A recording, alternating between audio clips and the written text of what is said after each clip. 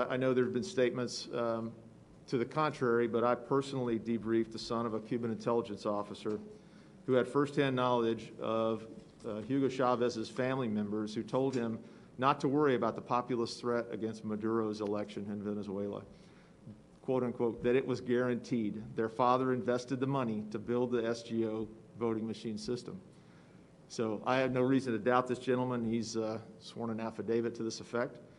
Uh, But uh, that's, that's the root of the, uh, the SGO voting machines. And many experts have published how easily these machines can be hacked to to manipulate votes.